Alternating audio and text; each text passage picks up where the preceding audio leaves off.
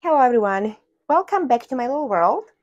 Uh, I'm Katie and I'm here today with Charlie and my baby Emmy and I would like to welcome you to our Sunday video.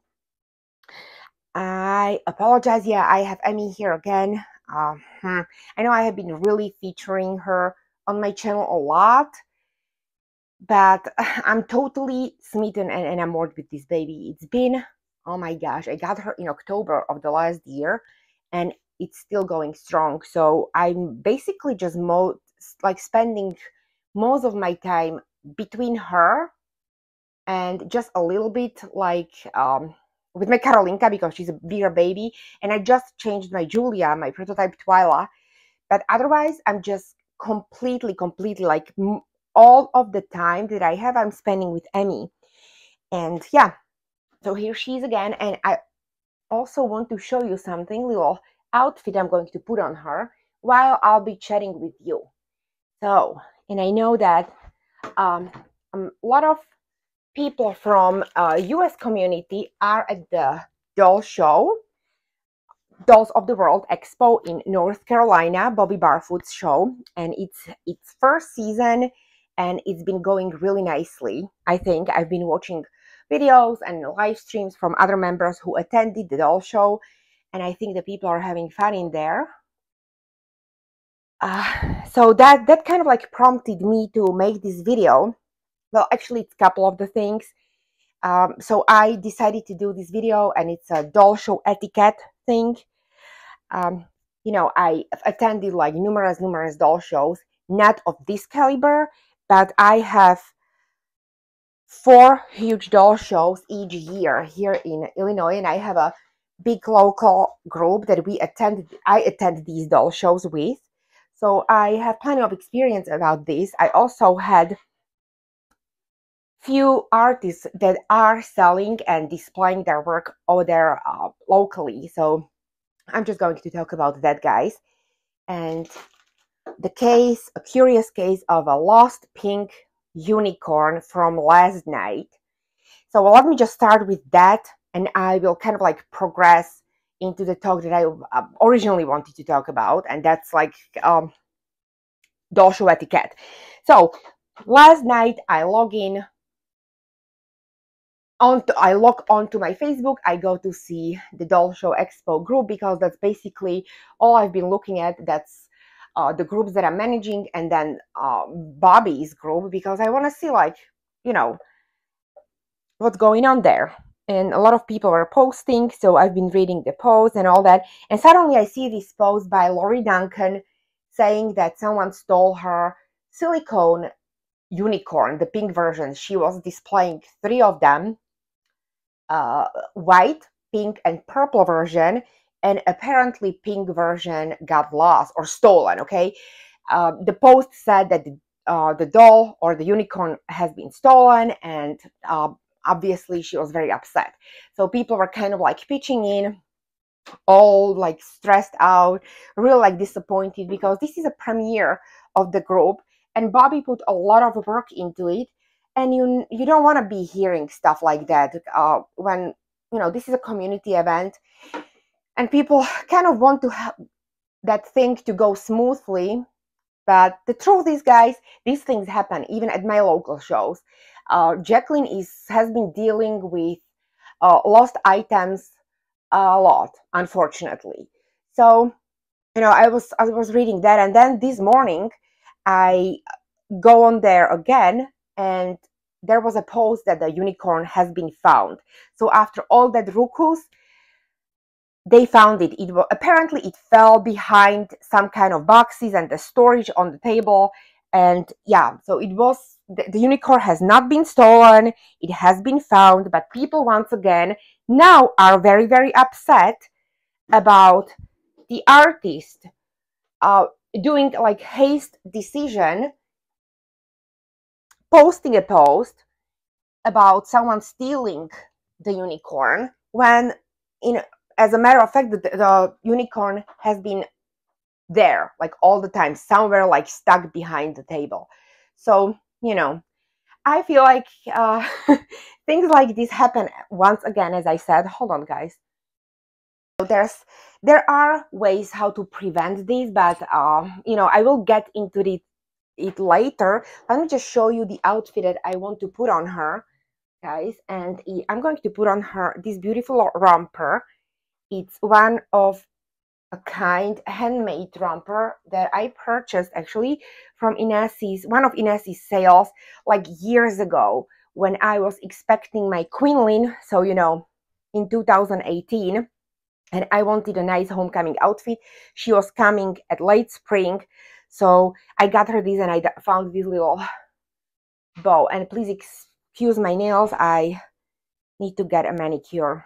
My gel ones just fell off. So yeah, so this is it. So I'm going to be putting this on her while bringing up my topic, which once again is a doll show etiquette that I think we all should follow. Hold on, I'm going to close the doors. So as a first first thing, uh, let me put this off of her. What is the main problem at the doll show? Obviously, we're talking um, about security. I heard that Bobby had security guy and she did have a back checks. Also, there were two types of bands on the dolls that not only people were getting a bracelet, like the members who are attending or people who are attending the doll show, but also the doll. So when you were getting into the doll, doll show, your doll had the bracelet. And when you were leaving the doll show and you purchase the doll from one of the tables, the artist, your doll would get the different type of a, um, it's kind of like a tag on, on a leg. It's a different color and they were doing back checks and uh, they are actually doing back checks because the show is still on today. You had to show the proof of the purchase, so all that. But then again, you have back exits that cannot be blocked. Some people were suggesting that uh, these exits should have been blocked because people were saying, yeah, they do uh, back checks at the main entrance, but nothing was checked at the side exit or something like that um, and people were suggesting that these side exits should be blocked or locked, which uh, it's not possible, guys, because of the fire department regulations. If anything happens, especially at uh, events with so many people attending, you'll need to have multiple fire exits in a in a you know in a case something happens. I mean, fire is a serious thing, so you know, and you have to follow fire regulations. But I feel like um, what should be probably provided more at these doll shows it's more security. Guys you know checking and also the cameras. I don't know how are the main cameras on the doll show floor but uh, i would most definitely come on charlie. I'm not going there. I'm sorry guys. I would most definitely probably if i was an artist and i was selling silicone especially the dolls of such value I would probably have a set of mini cameras at my table. And I would have a sign. It would not be uh, like secret, cam like me taking secret camera footage. It would be there, the sign. And I love this type of a sign. It's smile, you're on camera. And I do think, is it going to prevent like people who are determined to take something? Probably not. But it is kind of like uh, people will be like, oops, you know, maybe i don't know where are the cameras. Are they just pointing at me at this moment? Like what's happening? So that's what i would do. I think my husband would co- completely like he's really good at these things so he would install these cameras because you know unfortunately things like this happen and people yesterday were so very upset which you know any seasoned artist who has been uh, selling items on big doll shows will tell you that this unfortunately is a sad reality these days. And uh, a lot of items get lost. So uh, to the doll show etiquette now guys. I'm sorry charlie keeps like i don't know. Uh, to the doll show etiquette. At our doll shows and also at Bobby's doll show, there is, there are uh, stroller regulations too. Not at all doll shows. Uh, let's say our Kane County doll show, we can't be bringing strollers in because it's a huge space over there, and you have the space to walk with multiple strollers in there. But at that doll show at Bobby's, it was packed, guys. Uh, you of you, all of you who were watching it, I think you saw that attendance was crazy I mean, in a good sense.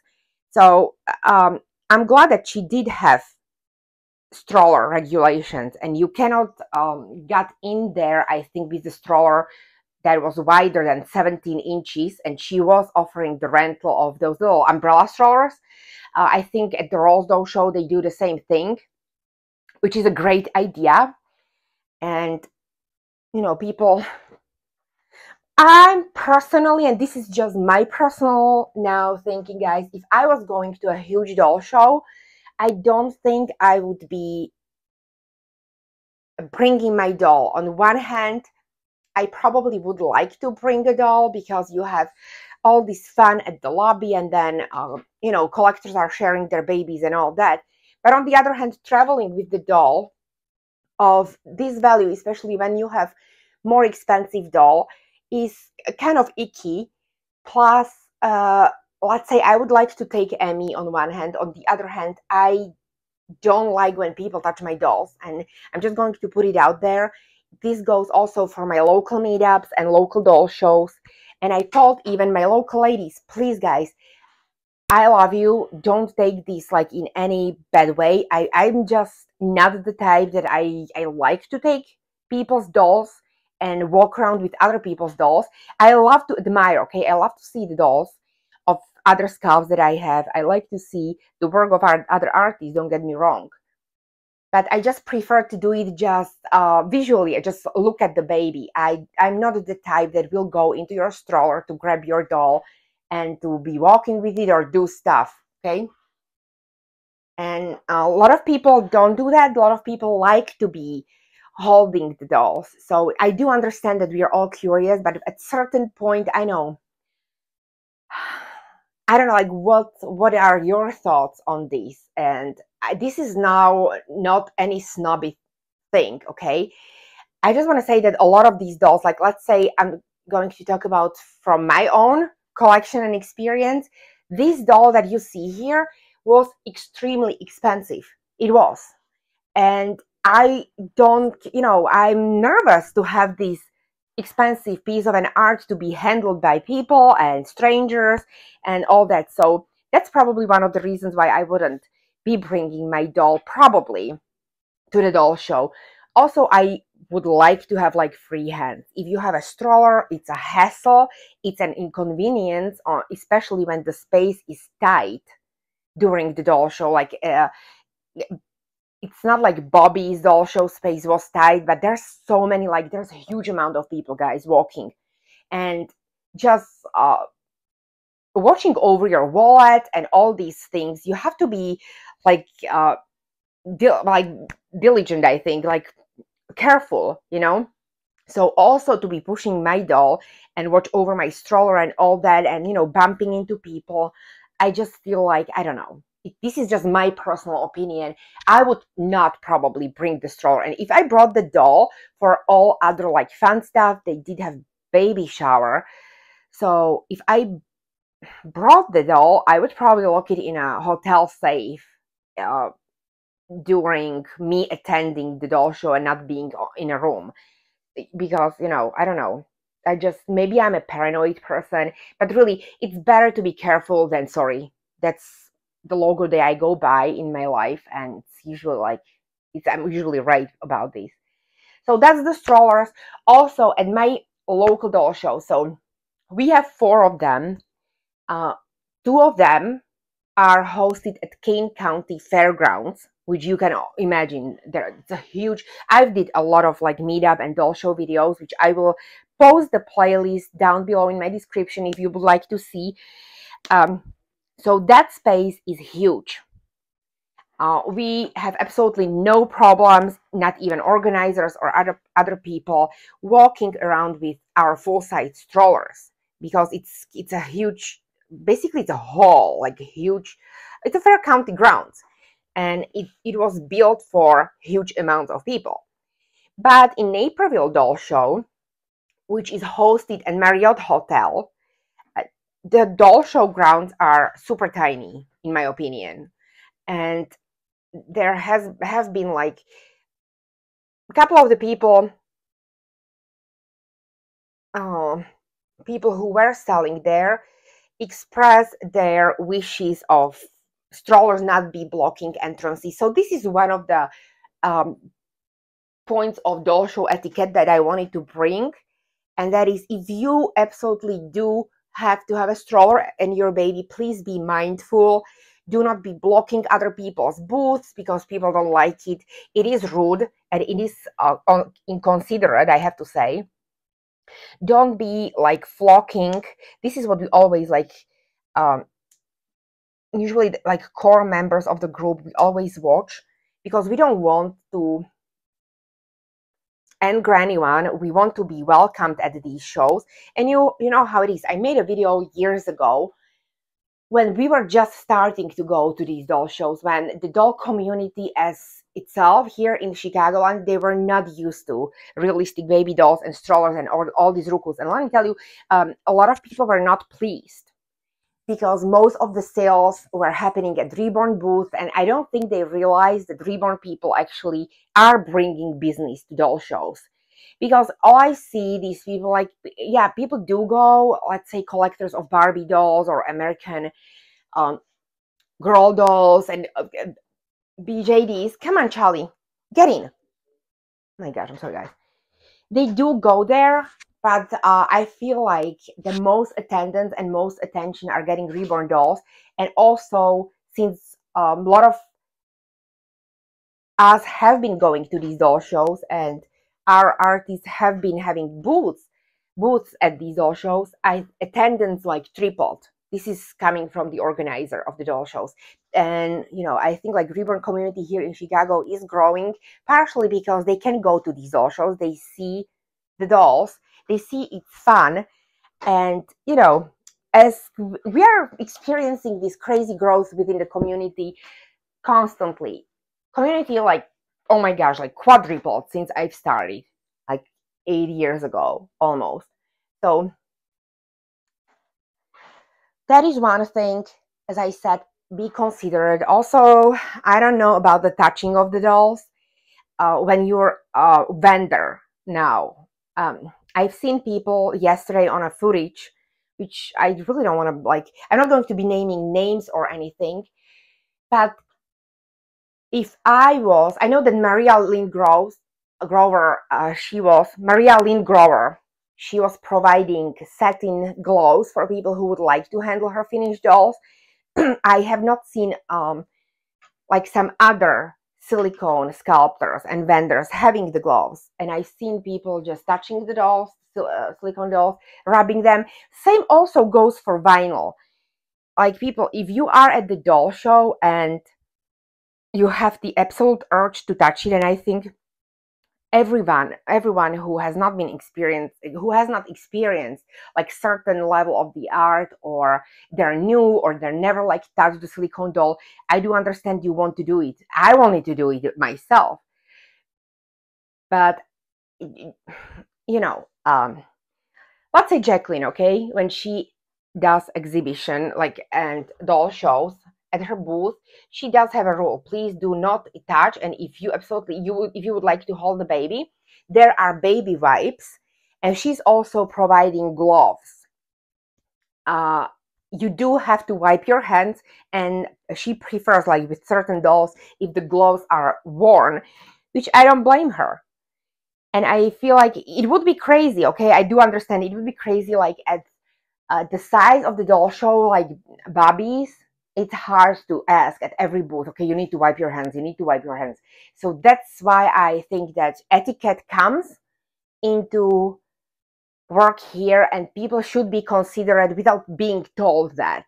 You know, be considerate and be respectful and just, you know, also now we have the clothing booth uh, with clothing, um, same as my doll at my doll shows. Um, when you go and you go through clothing and you are looking at like if the seller has multiple styles and multiple fabrics you also want to see everything right? Because uh, one of a kind outfits they cost a lot and even if they're not one of a kind let's say imported pieces are expensive. So you kind of like you want to pick the best one for you and for that you have to go through like a couple of outfits i understand. But you know guys don't be digging like in kmart in there with stuff flying and left it in piles. You know just i would just suggest lift it nicely and put it back. I guess this is what i do. I don't leave a mess behind myself. And i see i think uh, the more people more consideration and respect should be shown to the vendors, to organizers, to sculptors, artists, and also fellow collectors because I don't want to come to the booth where uh, the artist or the vendor is upset and there's a mess, uh, stuff all over. I'm not saying this was happening at Bobby's show, okay, guys? I'm just like, I'm going through like general doll show etiquette and stuff that I've gathered and information and opinions that I've uh, gathered throughout the years. Uh, what else? So that's that's it. I think this is what I just wanted to talk about. Here is Emmy, looking also cute. I'm I'm loving her in this little romper. It's so beautiful, and I'm so glad I got it and I this is one of the outfits like staple outfits of mine or like special outfits that I have had for years and I've never even considered selling because you know people who are following me and my boutique you you know that uh like let's be honest here about 80% of the outfits that I buy and I show here on my channel or on my Instagram I use them once or twice and then I sell them because I get bored very easily.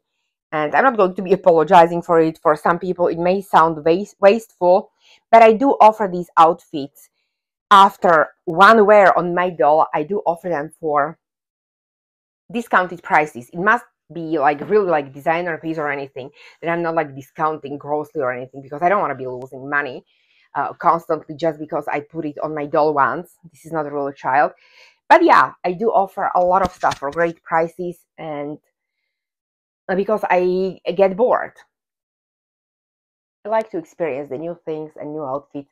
And also, I think the part of it is me not having enough space in this house. I don't have my nursery. I don't have my like separate room where I could be having my hobby stuff. So i need to be mindful about that. And i still like to shop. So i mean you know guys like cycling and circulating and recycling i think that's the motto of today's society in general. So yeah. Uh, what else uh, oh my gosh yeah one more thing about this doll show etiquette and this happened a couple of times it happened. Mm, I don't, I don't think it happened at Bobby's show. I have not heard of it. I've seen some kind of a talk about one person. I don't want to be spreading disinformation or misinformation, so I'm not going to say it happened there, but it did happen at Rose Doll, Doll Show couple of times. And that's when the artist didn't pay for the table at the doll show, but they decided to be selling their stuff somewhere else on the hotel premises, usually secretly from their room. And I find this as a very rude and offensive and uh, like generally against the rules. I don't find this as a good like I don't know. It's to me it's completely unthinkable. You know, you either buy the table or don't go to the doll show to do like business like that.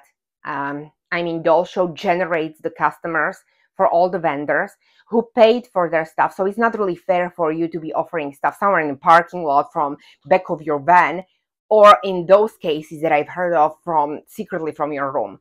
And that there was actually, I don't know, it was a sculptor. I'm not going to name her or anything, but it was the sculptor and artist, very like well known, who did this twice and who probably I don't know if she was planning doing it here or not, but yeah, it did happen. It did happen, and people know about it. I don't know what were the repercussions if she was banned from the doll shows, from that particular doll show that it, where it happened or not. But I we have the same rule in our group because our group is right now at 74 members, official 74 members, and you can imagine mass impact that we have that when we come to the doll show. I mean, can you imagine? We never go like in full force, but we usually have like 25 people like at our at our pumpkin farm. It was almost over 30 people, I think, in attendance. So there is a rule that all of our members know. It's posted publicly in our group on Facebook, and we're reminded like before every um, doll show that we plan on attending, and that is do not bring your dolls that you have for sale to be offering on the doll show premises.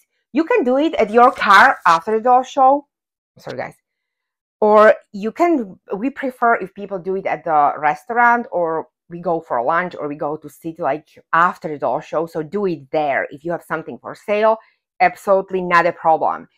But if you have not paid for the table, do not go advertising your stuff.